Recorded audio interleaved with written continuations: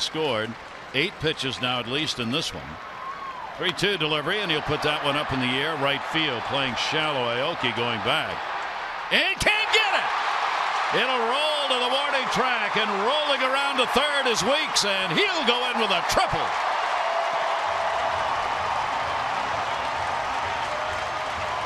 Another great at bat from Jemile Weeks.